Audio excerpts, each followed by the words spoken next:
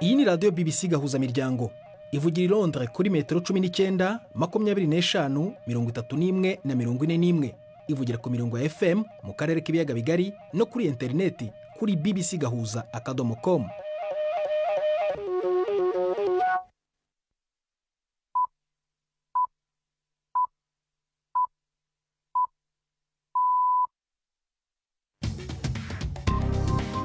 ubu ni saa kumi n'igice ku isaha mpuzamahanga ya gmt ni saa kumi n'ebyiri n'igice ku masaha yo mu rwanda no mu burundi.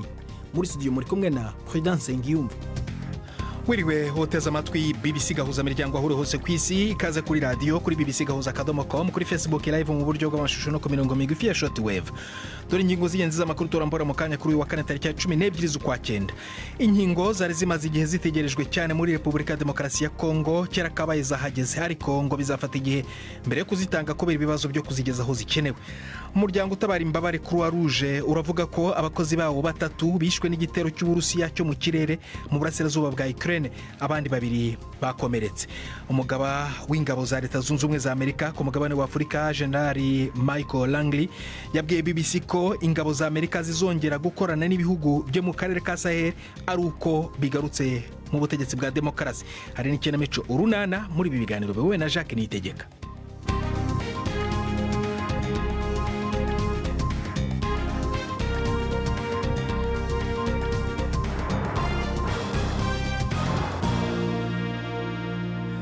Ikaze ku makuru arambuye duhera muri leta zunze ubumwe za amerika aho abanyamerika babiri bo mu byogajuru bari mu cyogajuru ku buryo bwigenga cya space exploraris don bakoze urugendo rwa mbere mu kirere rukozwe n'abasivili. Aba banyamerika babiri b'abaherwe mu ikoranabuhanga gerard isakman n'umwenjeniyeri sarah giles bakoze isuzuma ry'imyenda bari bambaye mu gihe cy'urugendo rw'iminota cumi n'itanu. Isakman wateye inkunga ubu butumwa yafunguye umuryango w'icyogajuru agaragaza abantu bane barimo bajya mu isanzure ibirometero birenga magana atandatu hejuru y'isi. Polaris cyari cyaragenze mu kirere mu butumburuke burenze ubu ku butumwa bwakozwe n'undi muntu ku butumwa butakozwe n'undi muntu mu myaka igera kuri mirongo itanu ishize. Umuryango mpuzamahanga utabara imbabare kuruwa ruje uravuga ko abakozi bawo batatu bishwe n'igitero cy'uburusiya cyo mu kirere mu burasirazuba bwa ikirere abandi babiri bakomeretse. Kuruwa ruje yavuze ko itsinda ryayo rikorera muri ubwo buryo mu buryo buhoraho mu karere ka donetsk kandi ko imodoka zayo zari ziriho ibimenyetso ku buryo bugaragara. Perezida zelenski yavuze ko icyo gitero ari ikindi cyaha cy'intambara cy'uburusiya. Inkuru ya james waterhouse uri kiv muragezwaho na jacques niyitegeka umuryango mpuzamahanga utabara imbabare ku isi croix rouge uravuga ko itsinda ry'abakozi bawo bari bajyanye imfashanyo y'inkwi n'amakara mu mudugudu uherereye mu majyaruguru y'umujyi wa donetsk wigaruriwe n'uburusiya. Igihe imodoka zabo zaraswagaho n'ibisasu bya rutura by'uburusiya. Hari ifoto yashyizwe ahagaragara y'ikamyo yera yari irimo gushya yanditseho ku ruhande rwayo ikimenyetso cya croix rouge. Nubwo hafi y'aho imirwano ibera hahoraho ubwoba bw'ibitero by'utudege twa drone na misile ntibisanzwe ko imodoka z'ubutabazi ziraswaho muri ubu buryo. Croix rouge yamaganye yivuye inyuma icyo gitero ivuga ko aya ari amakuba ateje akababaro kamenyerewe ku bantu bose babuze ababo mu ntambara. Uburusiya ntacyo bwari bwabivugaho. Hagati aho minisitiri w'ububanyi n'amahanga wa leta zunze ubumwe za amerika antony blinken yirinze gusubiza ku buryo butaziguye niba ukraine yamaze guhabwa uruhushya rwo gukoresha intwaro z'uburayi zirasa kure mu kurasa imbere mu burusiya. Blinken yasubizaga ibibazo igihe cy'ikiganiro n'itangazamakuru ivarisovi muri polonye kimwe mu byari byanjyanye i Kiev ejo kwari ukumenya icyo abayobozi ba Ukraine dukorana. Bumva bakeneye ku rugamba muri kino gihe harimo n'imirwano mu burasirazuba bwa Ukraine no mu tundi duce tw'igihugu. Icyo nababwira ni uko mu gihe dutera intambwe tujya imbere tuzakora ibyo dusanzwe dukora. ni ukuvuga ko tuzahindura imikorere aho bibaye ngombwa. harimo ndetse n'ibijyanye no guha Ukraine uburyo bwo kwirwanaho bikwiye mu ntambara yashojwemo n'uburusiya.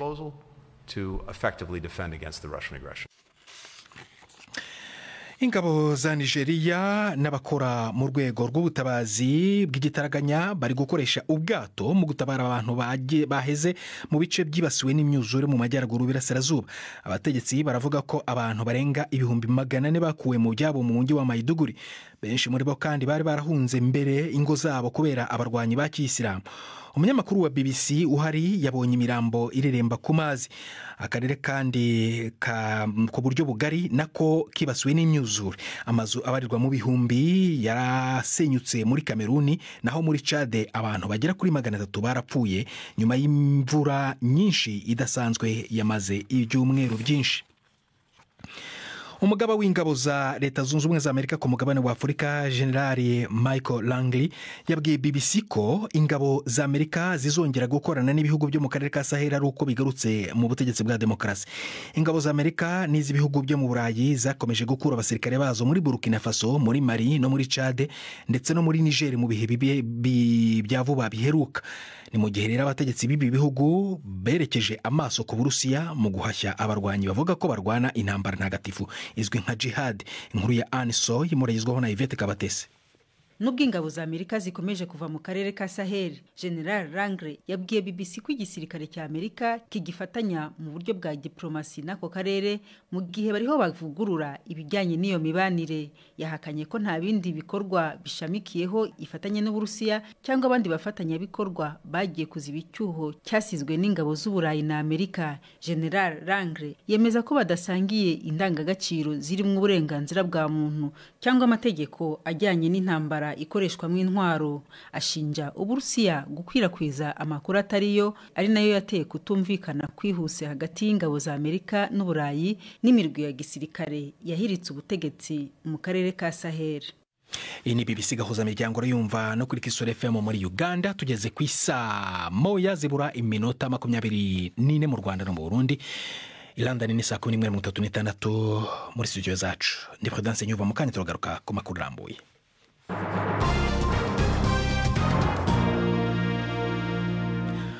Urukiko muri tayilande rwasohoye impapuro z'amategeko zo guta muri yombi abantu batandatu bari mu zabukuru bahoze mu rwego rw'umutekano kubera impfu z'abayisilamu mirongo inani na batanu bigaragambyaga mu myaka mu mwaka wa mu myaka makumyabiri ishize. Undi wa karindwi mu bakekwa akaba ari umudepite ufite ubudahangarwa nawe yategetswe kuza mu rukiko. Ibi bintu byabaye muri bibiri na kane bizwi nk'ubwicanyi bwa takibayi abayisilamu babarirwa muri mirongo bigaragambyaga mu majyepfo ya tayilande baheze umwuka nyuma yo kurundanywa mu makamyo bagatwarwa mu gihe cy'amasaha atanu bagiye ku birindiro bya gisirikare. Nta n'umwe waciriwe urubanza kubera ubu bwicanyi imiryango y'abapfuye ariko na yo yatangije ikirego cyayo muri uyu mwaka. Tujya muri repubulika ya demokarasi ya kongo aho inkingo zari zimaze igihe zitegerejwe cyane. Kera kabaye zahageze ariko rero ntiziri aho zikenewe. Iyi virusi iri gukwirakwira bwangu mu karere k'uburasirazuba bw'igihugu kandi abakora mu buvuzi bategereje inkingo zo gucubya ikwirakwira ryayo. Cyakora minisitiri w'ubuzima yabwiye bbc ko bizagora cyane gukwirakwiza izi nkingo kandi ko bizafata ibyumweru byinshi mbere y'uko ikingira ritangira. Inkuru ya iyani wa fula uri kinshasa muragezwaho na nini yadukunda kibuga cy'indege mpuzamakungu cya njeri i kinshasa indege izanye imfashanyo ya mbere ya doze hafi ibihumbi ijana z'icyanco iri kwirapakururwa iki gihugu ni cyo cya mbere kimaze gupfamo abantu benshi bahitanywe n'uwo mugera hamaze gupfa abarenga amajana atandatu abandi hafi ibihumbi mirongo ibiri bikavugwa ko banduye. Mu minsi mike iheze icanco hafi ibihumbi amajana abiri na mirongo itanu zashyitse muri iki gihugu. Ubu rero ikibazo nyamukuru kiratanguye. Kubika neza izo canco no kuzishikana ku bazikeneye kurusha abandi. Narahawe uruhushya rudasanzwe rwo kwinjira mu bubiko bw'ikinkole ububiko bwa mbere bunini muri afurika yo hagati. Ubwo bubiko bwarafashije cyane mu rugamba rwo kurwanya izindi ndwara nk'ubukangwe na ebola. Ubu ni bumwe mu bubiko buke bushobora kubika inshansho za mpox ku bukonje bukeneye bwa dogere mirongo ibiri munsi ya zero. Intoki zanje no mu maso hatimvye neza na neza. Ubu rero hari ingorane y'ingene zizovanwa ngaha kubera zimaze kuvanwa mu bukonje. Zitegerezwa kubikwa ahantu hafise ubushuhe buri hagati ya dogere zibiri na dogere umunani inyuma yaho zica zitegerezwa gukoreshwa mu minsi itarenze mirongo ine. Aho ni ho hari ikibazo gikomeye cyo kuzibika no kuzishikana iyo zija. Goma izingiro ry'ico kiza ni ku birometero hafi ibihumbi bibiri uvuye ku mugwa mukuru kinshasa. Umushikiranganji w'amagara y'abantu w'ico gihugu roger kamba avuga ko hariko harakorwa ibikenewe kugira izo cansho zishikire abo zizotegwa mu gihe nyaco. Iki ni cyo kibazo gikomeye kuko dusabwa gukura inkingo i Kinshasa tukazijyana mu bindi bice tuzi ko dufitemo ibibazo by'imihanda. Dufite ikibazo cy'intera ndende ndende cyane iri hagati. Ndibaza ko bishoboka ko twatangira n'ukwezi kwa cumi. Start maybe at the beginning of October. abakozi bo mu buvuzi bakorera mu karere ko mu buseruko bwa kongo izingiro ry'ico kiza babwiye bbc ko atari bo bazona izo cansho zibashikiriye kubera bakora batambaye canke badafise ibikoresho vyo kwikingira nk'ibifuka intoki bitaga n'udufukamunwa We said that it is not enough. Just the beginning. twavuze ko zidahagije wenda hari mu ntangiriro kuko murabizi dufite igihugu gifite abaturage barenga miliyoni ijana bivuze ko ibihumbi magana abiri mirongo itandatu na bitanu zidahagije ariko dufite icyizere cy'uko tuzabona izindi doze zivuye mu bihugu nk'icy'ubuyapani ndakeka ko bashobora kuduha nka doze miliyoni eshatu. Akarere ko mu buseruko kamaze hafi imyaka mirongo itatu karimo umutekano muke. Leta iremera ko ingwano hagati y'igisirikare ca leta n'imigwi y'inyeshamba zizogira ingaruka mu gutanga incanco bigatuma amamiliyoni y'abantu baba mu makambi y'abateshejwe izabo bagira ibyago vyinshi vyo kwandura iyo ngwara. Oh, iki ni ikibazo gikomeye. Murabizi ko dufite abantu basaga miliyoni indwi bakuwe mu byabo. Ni ikibazo kuko inzego z'ubuzima zose zarazahaye kandi tugomba kujya ahantu hose. Ariko ndizera ko dufite inzego zikomeye bihagije ku buryo tuzashobora kugera ku bantu bose kabone n'ubwo baba baravuye mu byabo. Mu gihe leta iriko irakorana n'ibigo vyitaho amagara n'ikibano mu kurwanya ikwirakwira kw'iyo ngwara abakozi bari ku rwasiro rwo kuyirwanya nta kindi bari bukore atari ukurindira mu mwizero. Alberto fujimori wahoze ari perezida wa peru yapfuye afite imyaka mirongo inani n'itandatu nyuma y'indwara ya kanseri. Yahamijwe ibyaha byo guhonyora uburenganzira bwa kiremwamuntu na ruswa ariko abamushyigikiye bamushimagizaga ko yatsinze umutwe w'inyeshyamba wasaga nk'ugiye gufata ubutegetsi mu myaka y'intangiriro z'igihumbi kimwe magana cyenda mirongo icyenda. Inkuru ya ronaldo roca murabimva mu ijwi rya jean claude mwambutsa. Abashyigikiye alberto fujimori batangiye kwikusanyiriza inyuma y'urugo rwe umukobwa we keiko akimara gutangaza iyi nkuru kuri bo uyu ni umugabo warokoye peru ayirinda kugwa mu maboko y'agatsiko k'abagendera ku mahame ya mao. Ka sendero ruminoso ariko ku nzirakarengane zahutajwe n'ubu bushyamirane uyu afatwa nk'umunyagitugu cyangwa umutegetsi utagira imbabazi. Yatowe bwa mbere mu mwaka w'igihumbi magana cyenda mirongo cyenda ubwo intambara y'uyu mutwe yari ikaze cyane. Nyuma y'imyaka ibiri fujimori yakuyeho urwego nshingamategeko rwa kongere. Arega abashingamategeko kumubangamira mu mugambi wo gufata ibyemezo bya ngombwa ku gihugu. Ubutegetsi bwe bwashoboye gutsinda aka gatsiko ariko bisiga uburenganzira bwa muntu buhazahariye yaje gushinjwa ibyaha byo guhohotera ikiremwamuntu yibasira imiryango y'abasangwabutaka b'abakene. Bwana fujimori yategetse peru kugeza mu mwaka w'ibihumbi bibiri ubwo yakurwaga ku butegetsi ku ngufu ashinjwa kumungwa na ruswa. Yahungiye mu buyapani mbere yo kwerekeza muri shiri aho yageze agatabwa muri yombi. Kubera aya mateka ye umurage asize ntuvugwaho rumwe umukobwa we keiko fujimori akuriye ishyaka rikomeye muri peru. Mu matora aheruka y'umukuru w'igihugu yatsinzwe arushijwe amajwi makeya cyane kandi yamaze gutangaza ko azongera kwiyamamaza mu mwaka w'ibihumbi bibiri na makumyabiri na gatandatu. Abagore babiri bahamijwe icyaha cyo kwandagaza Brigitte Macron umugore wa perezida w'ubufaransa kubera kuvuga babeshya ko ari ikinyabibi. Natasha Rey na amandine roy baciwe amande y'amadolari magana atanu na mirongo itanu buri umwe. Banategetswe kwishyura madamu Macron na musaza we jean michel tronyo aba bagore bavugaga ko ari we Brigitte ibihumbi cumi na bine by'amadolari y'impuzamarira ibi byatangajwe ku rubuga rwa youtube rwa roy muri bibiri na makumyabiri na rimwe. Ikirego cyatanzwe rero kuri aba bagore babiri nyuma y'ukwezi kumwe babitambukije ku rubuga rwa youtube. Ni saa moya zibiri iminota cumi n'itandatu mu rwanda no mu burundi n'umwanya w'ikinamico urunana.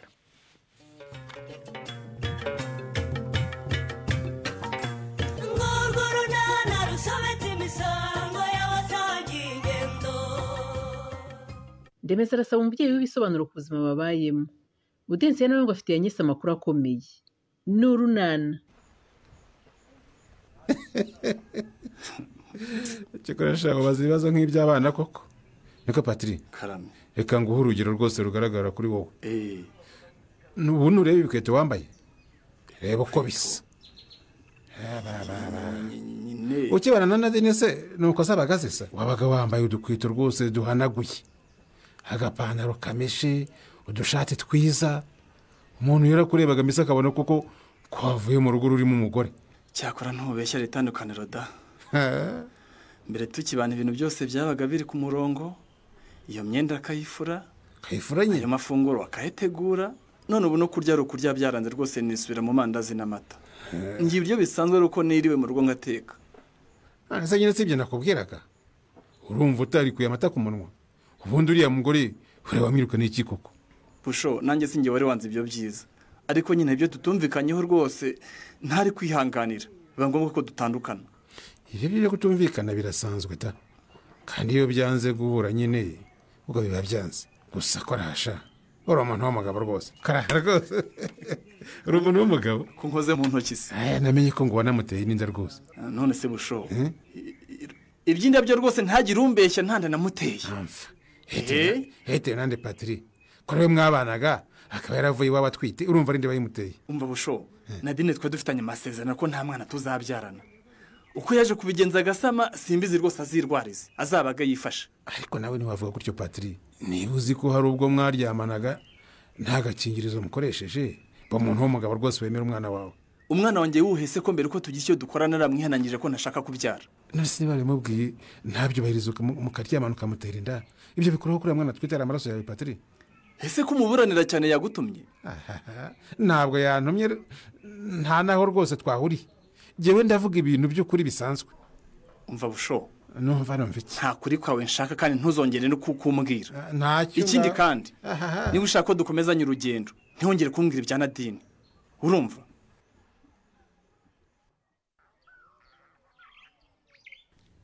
Ego ko rero ese ubwo uragenda ute di? Ndagenda nese sori. Shingura disi amakuru. Ese ubwo koko ubona nta matsiko mfite? Ubwo se ufite amatsiko y'iki kandi? Ahubwo nawe kwiraza inyanza kwawe ni umunsi. Ubusa nta mapine y'imodoka mbona ahangaha mu mbuga? Cyangwa wagize ngo nta maso ngira di? Ese ni ayo mapine y'imodoka uvuga yishushanyije hano? Nyine. Ubwo se tuvuge ko nta nkuru nziza irimo ra? Mbo sinzi niba twabyita inkuru. Ariko nyine nimugoroba nari nasohokanye na kirisi dutashya amarifuta ngeza hano. Ntiwumva se ahubwo? Eh, kora rero kora ariko. Ko- kora urumva ko bitangiye gucamo? Yewe kariya gakecuru ngo ni nyensi. Umva ndashaka ko gakuramo ukakajugunya iriya ukakajugunya mu bishanga nk'akatarigeze kanahagera. Aha. Ni ukuri b'umukobwa mwiza b'inkorera ntiwavuga gutyo sori gukura umuntu ku musheri we ntabwo ari ibintu byoroshye. Umva kandi umva kandi icyo mpfa nawe. Ariko kuki rwose utigirira icyizere reya ubwo se ko mwaraye musohokanye nyensi basohokanye ariko njye ni rimwe gusa kandi we basohokana buri munsi. N'abantu bino bose barabizi ko bakundana naho njye ndakihishahisha ubwo se urumva bihuriye? Ibyo byawe ni byo nanga gusa. Umva reya va muri ibyo yewe jokeri kuramo ibwana. Utangira gake gake nyine usa n'uwihishahisha. Urumva? Ariko bizarangira iriya rumari nk'iyarangwa inda nyine uyikuyemo. Sha sori ni ukubisengera ariko simbizi ariko ujya ugira kuraje nk'umwana muto. Iyo urebye nyese uko angana n'uko asa n'uko ateye nawe ukireba. Ubona ari naho muhuriye na hato dutandukaniye se ko twese turi abakobwa sori uyu yewe muri abantu babiri batagize n'aho bahuriye. Kwigereranya na nyesi ni ukwitesha agaciro cyane pe.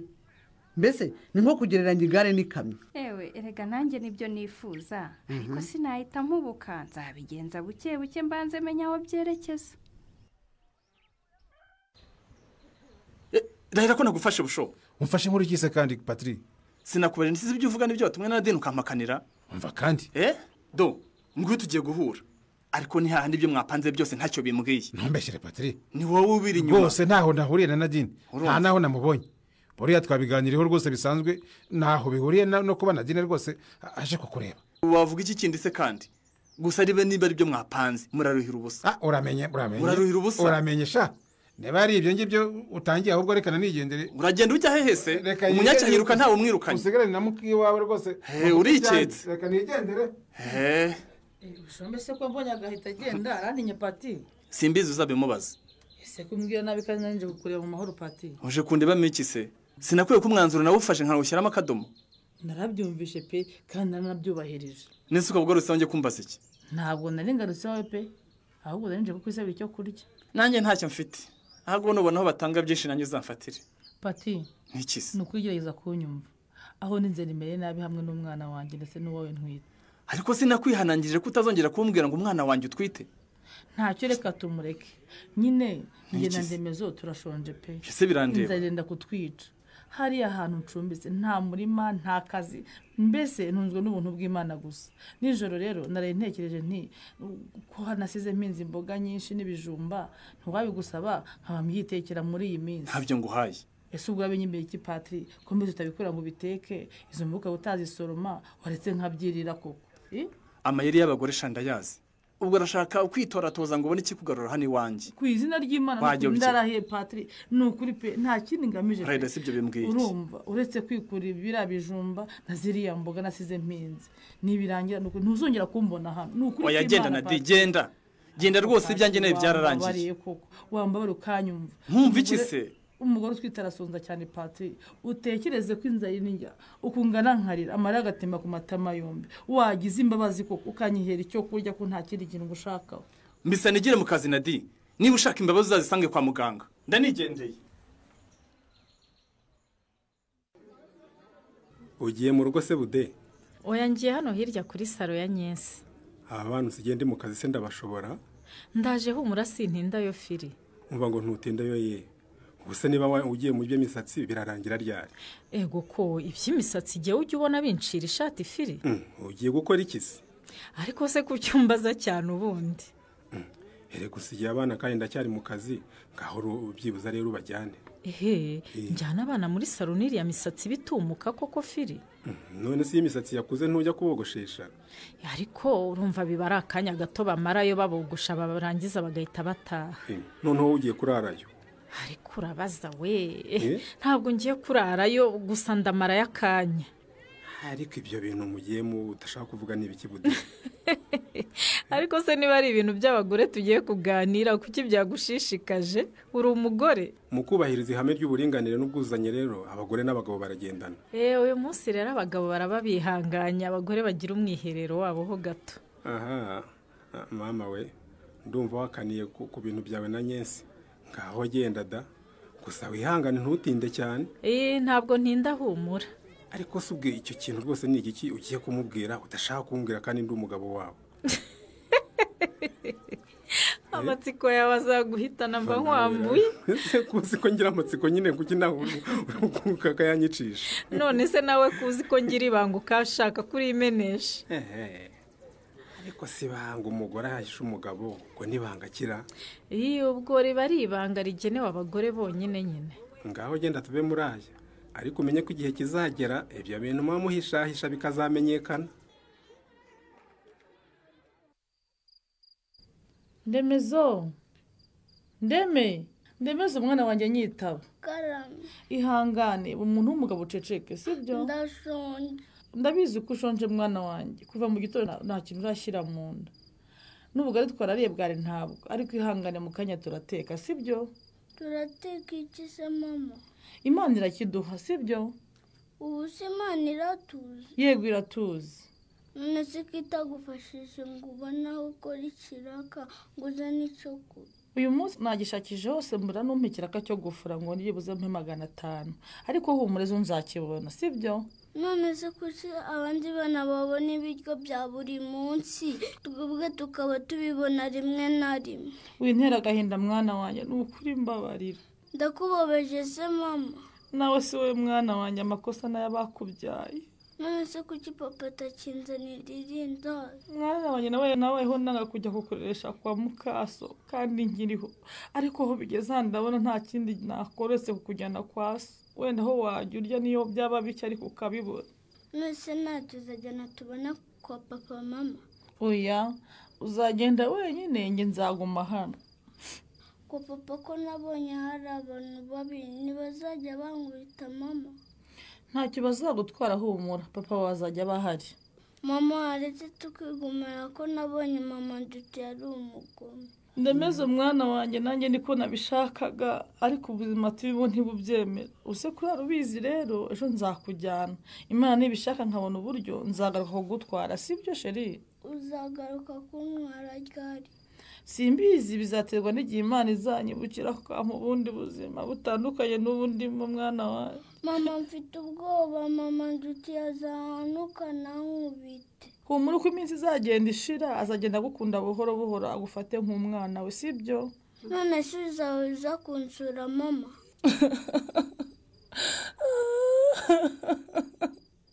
Nemeza umwana wanjye wikomeza kumbata ibibazo nanjye nafitiye ibisubizo. Nabizi ninjye ntandara ibibazo byose ufite. Ariko ndakwinginze mbabara nanjye sinjye.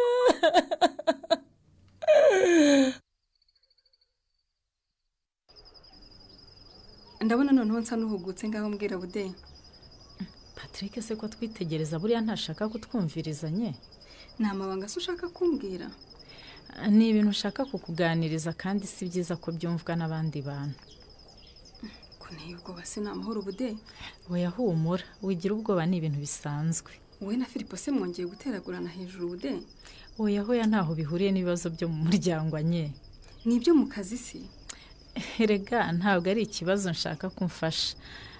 Ni akantu ushaka kugukeburaho kugira ngo utazarangara akakubyarira amazi nk'ibisusi njye wanyeze iyi wowe rwose. Mbona ufite abantu wita inshuti ariko mu by'ukuri atari inshuti nyanshuti. Usanga bakwigiraho beza bakakwereka ko bagukunze. Nyamara hirya ari bo bagucukurira icyobo cyo kukujugunyamo yeee umwe muri abo rero nshaka ko uzakurikirana ni reyo uriya. Reya? Reya umwigishanya se eee uriya uriya mugenzi wacu twigishanya rwose. Naramurebye nsanga ashobora kuba atari umwana mwiza. Reya ko mbona ntari ibiryo rwose ubwo wamunenze ikibude dore ejo bundi mperutse kumubona ahantu muri resitora. Ari kumwe na sheri wawe. Titireri. Ndeba ukuntu bahuje urugwiro. Yewe numva simba ashize amakenga. Ubwo si ibyo birakomera? Kuba bahurira ahantu bagasangira rwose ndumva nta kibazo biteye. Wowe uzikurikiranire umenye neza ibyo ari byo. Ngewe icyo nanze ni ukugumana amakuru kandi mbona ashobora kuvamo ikintu kitari cyiza ku muvandimwe. Yewe urakoze kumpaye amakuru ariko nanone ndumva ibyo bidakomeye rwose kuko reya ni inshuti yanjye pe. No kuba nkundana na Chris arabizi. Ubwo rero kuba bahura bagasangira nk'abantu baziranye kubera ngewe ndumva nta kibazo nabigiraho pe. Yego ibyo uvuga ndabyumva koko gufureka cyane na byo si byiza. Ariko nanone ngo inyamaswa idakenga yishwe n'umututizi. Shabude si ugusuzugura inama zawe pe. Ariko ndumva gusangira muri resitora nta kintu nabikingamo na gatoya. Ntacyo bitwaye niba ari ukubyumva. Icyo nari nkoze kwari ukuguha amakuru y'ibanze. Ese ubundi? Niba uvuga ko ari ibisanzwe nta kibyihishe inyuma. Muri bo hari uwigeze akubwira ati nahuye na kana kaha n'aha tujyana muri resitora turasangira. Anyesi ati ntacyo nashinja inshuti yangereye umunsi yamenye umugambi we hazacura iki? Ntuzacikwe n'ikiganiro urunana cy'ubutaha. Ikinamico urunana mwitegurirwa n'umuryango urunana development communication mukayikurikira kuri radiyo bbc ku wa kabiri no ku wa kane saa kumi n'ebyiri na mirongo ine n'itanu z'umugoroba. Ikinamico urunana kandi mwayikurikira kuri youtube. Kuyigeraho andika ijambo. Ikinamico urunana official maze utange n'ibitekerezo. Uramutse ufite ikibazo cyangwa igitekerezo kandi wifuza kutugezaho watwohereza ubutumwa bugufi bwanditse kuri telefoni igendanwa zeru karindwi mirongo inani na gatatu cumi n'umunani icumi mirongo itandatu na kane. Mushobora kandi kunyuza ubutumwa kuri paji yacu ya facebook kwigeraho ni ukwandika ijambo urunana. Tubibutse ko tubagezaho ikiganiro gikubiyemo ibice by'urunana twumvise mu cyumweru. Icyo kiganiro tukibagezaho ku cyumweru saa moya n'igice za mu gitondo na saa kumi n'imwe z'umugoroba kuri bbc dusubikiye ikiganiro urunana cy'uyu munsi naho ubutaha. Barakoze bagenzi bacu mu ikinamico urunana aya makuru yarabo na jacques nitegeka twafashijwe na masudi ibrahim ugende prudence ngyumva ruraharyana